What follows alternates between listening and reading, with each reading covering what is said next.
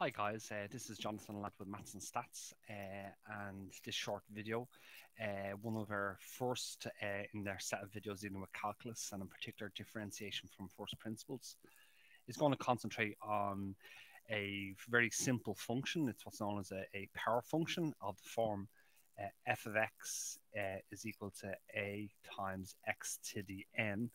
And so really what we want to try to derive in this particular video from first principles uh, is the derivative of a function that looks something like this. It's a constant term times an unknown x raised to a particular power, raised to the power of n. And let's just recall, so we're just going to recall, uh, recall that the derivative of a function uh, from first principles, dy dx, the derivative of y with respect to x is equal to the limit as h tends to 0 of the function f of x plus h minus f of x uh, all over all over h.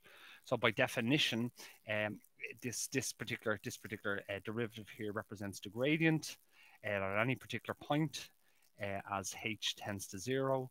This small infinitesimal change uh, with respect to the x-axis uh, gets smaller and smaller and smaller and actually tends to zero. So we, in a previous video, we've actually defined and we've we've derived where this particular formula comes from.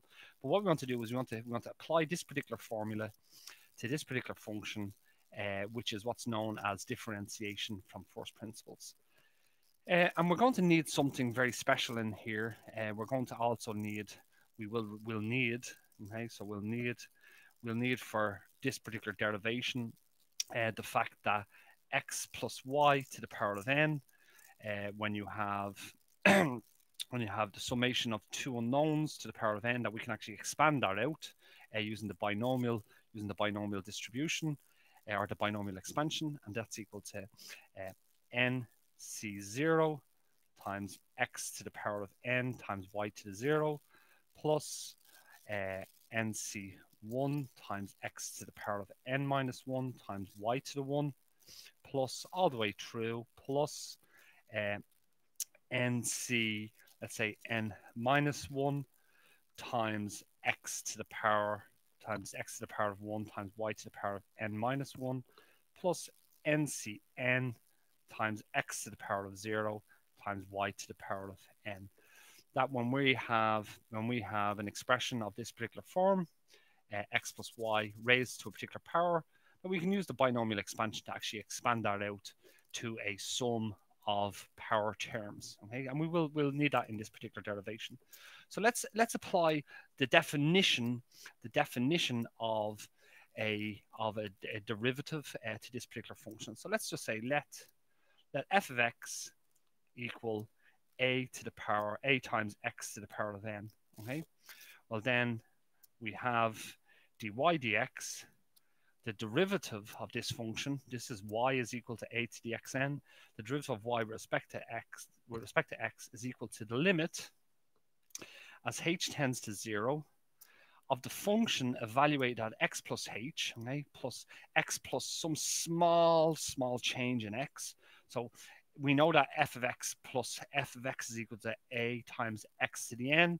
So f of x plus h must be equal to a times x plus h to the n. So this becomes a times x plus h to the n.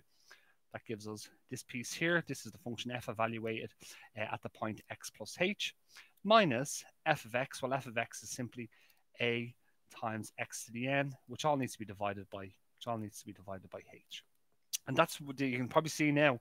The reason why we need this binomial expansion is what we're going to do is we're going to expand out this particular term.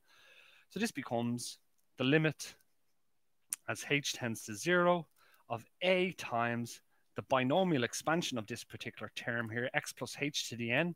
So anywhere, anywhere we see a y in this expansion, we're actually going to put in a h.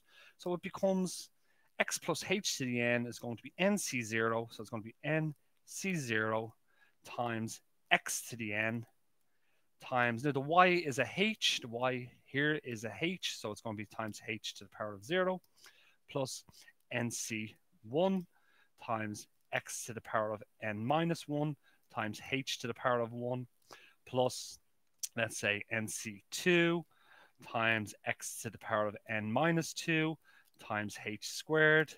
And what's going to happen here is, is that we're decrementing down the exponent here of this particular function, this n, we're decrementing it down. And if we keep taking one away from it each time, it's eventually going to get down to x to the power of 1 and then x to the power of 0. But what's also happening is that is that this particular, let's say, factor in this term here, h